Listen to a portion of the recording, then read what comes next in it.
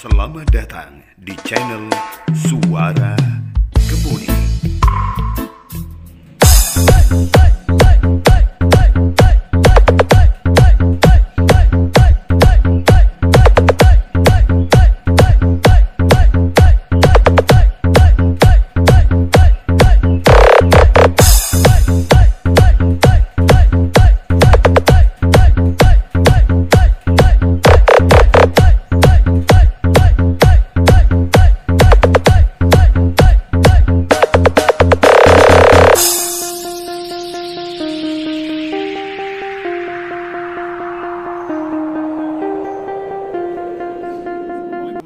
warahmatullahi wabarakatuh. Sahabat, saudara, teman-teman sekalian di mana pun Anda berada Di depan Anda ini ada kemuning-kemuning yang ada di gelas sponsor.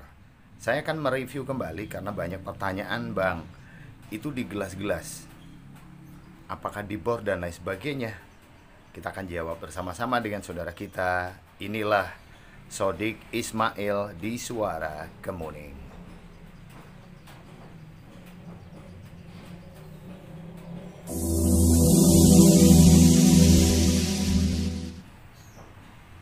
Alhamdulillahirrahmanirrahim Teman-teman, apa kabar Anda hari ini? Saya kembali lagi digelitik Apa digelitik ya? Digelitikin, gelitik Karena banyak sahabat-sahabat kita, saudara-saudara kita yang menanyakan tentang eh, gelas sponsor ini Bang, Mas, Pak, D, itu di gelas kalau nggak dibor kan busuk itu tanaman. Kalau nggak dilubangi gitu kan? Ini semua dilubangin mas bro. Jadi ini semuanya ada lubangnya gitu. Jadi biarpun pakai cangkir cangkir cangkir begini ini semuanya ada lubangnya. Jadi di bawah ini nih ada lubangnya. Nah kalau ini tidak dilubangi maka ya ya memang akan akan busuk sih. Akan busuk ya. Jadi mohon maaf. Mungkin anda pada saat melihat video yang lalu-lalu melihat video dengan gelas-gelas sponsor itu anda kurang eh, cermat kemudian nggak selesai mungkin anda melihat videonya sehingga anda bertanya-tanya dalam hati itu bagaimana nih si kemuning eh, bikin konten kok pakai gelas sponsor? Jadi apakah airnya bisa meresapkan itu memang keramik tapi kalau nggak dilubangin bagaimana? Nah ini kita lubangi mas bro. Jadi cara melubanginya ada di eh, suara kemuning di konten sebelumnya. Itu saya melubangi gelas-gelas keramik ini ada caranya. Jadi ya ya memang dilubangin gitu ya. Maka ini saya review biar anda tahu perkembangannya seperti apa. Nih saya harus memang bersih bersih terus sih. Jadi bersih bersih kayak gini nih ada rumput. Nah ya kan? Di tempat anda sama nggak sih?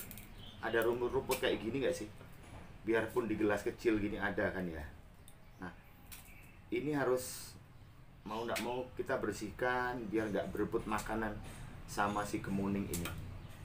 Ada yang Jepang ada yang jenar jadi ya pokoknya seadanya lah. Seadai seadai itu kalau bahasa Jawa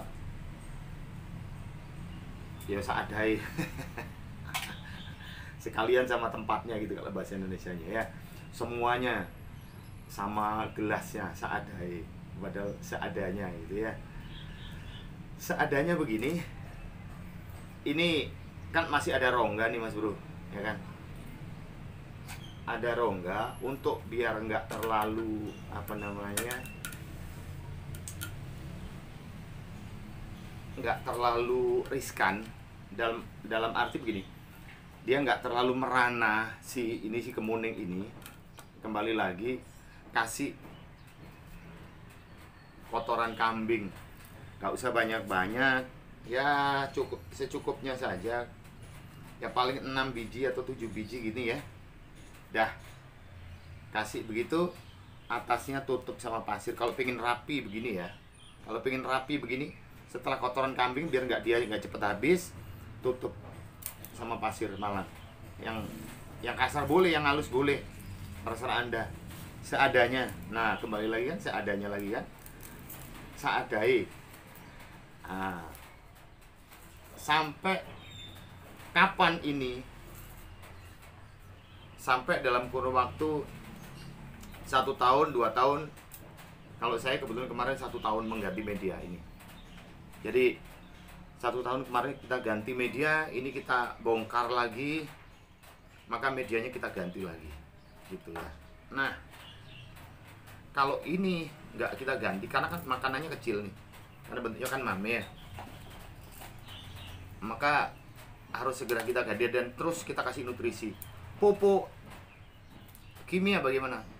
Nggak apa-apa dipakai sih. Saya kebetulan juga pakai pupuk kimia juga.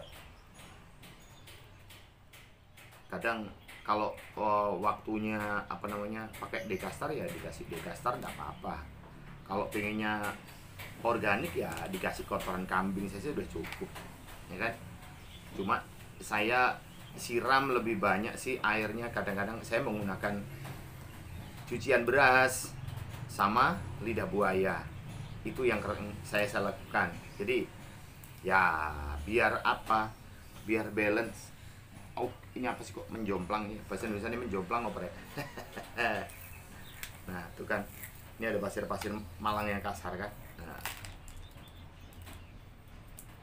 kita bereskan dulu kita bersihkan dulu ya. Kita bersihkan dulu rumput-rumput liarnya ini karena dia nanti akan tumbuh dalam kurun waktu satu minggu ini ini tumbuh yakin karena dia cepat sekali pertumbuhannya nggak tahu kenapa kok cepat ya Padahal kita nggak menanamnya loh. Makanya jangan berharap kalau menanam baik akan tumbuh baik semua nggak mesti. Ini contohnya. Karena semuanya kadang-kadang kita menanam baik, eh ada juga yang tumbuh negatif. Kita nanam padi, ada di sebelahnya rumput yang lain, ya kan? Menjadi resiko satu pergerakan Oke. Tuh kan. Sudah bersih begini Mas Bro. Kemudian kita kasih ini akarnya sudah begini kan.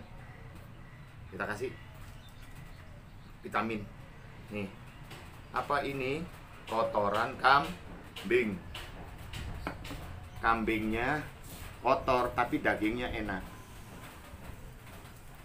Kita tuh sama pasir Malang, kenapa? biar nggak terlalu kalau hawanya terlalu ekstrim kan pasir Malang ini bisa meredupkan suasana ya bisa mendinginkan ini kita biarkan di sini sampai sekuat apa saya memelihara si kemuning-kemuning ini. Jadi gitu ya teman-teman ya. Kembali lagi diulangi di semuanya saya bor. Nih ada bor. Ya ada lubangnya. Ada lubangnya. Dilubangi pakai mata bor kaca. Ada lubangnya mas bro. Ya pakai mata bor kaca. Apakah satunya juga ada? Ada semua dilubangi pakai mata bor kaca oke? Ini lubang kan? Dilubangi pakai mata bor kaca. Saya review biar biar anda puas ya. Dilubangi ini ada lubangnya ya. Pakai mata bor kaca. Mohon maaf. Guyon guyon guyon guyon. Kita berguru ya kita berguru ya sambil berguru ya. Mohon maaf jangan tersinggung.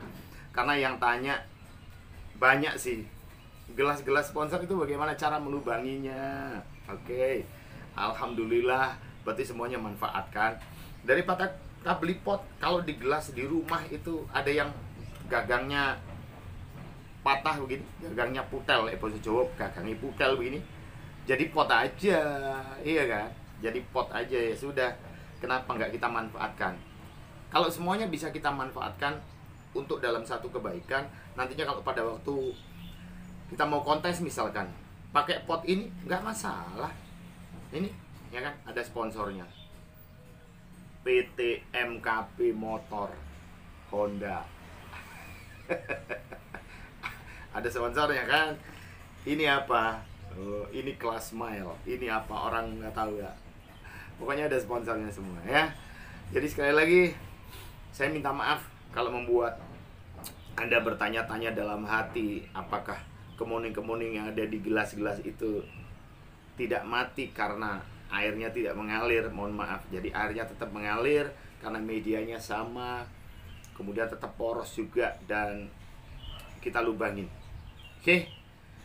Mudah-mudahan ini menjadi inspirasi kita semua untuk terus menggunakan hal-hal yang kadang-kadang membuat kita tidak eh ini nggak manfaat ini. Ternyata ada manfaatnya juga ya. Mudah-mudahan anda yang selalu menyimak suara kemuning saya doakan anda banyak rezeki sehat selalu lancar rezekinya banyak dan berkah semuanya dari Allah Subhanahu Wa Taala oke teman-teman jangan lupa bantu subscribe like share dan komen untuk perkembangan channel suara kemuning berikutnya saya Sodik Ismail mohon pamit Insya Allah kita ketemu lagi di urutan yang lainnya Sampai jumpa. Wassalamualaikum warahmatullahi wabarakatuh. Dadah.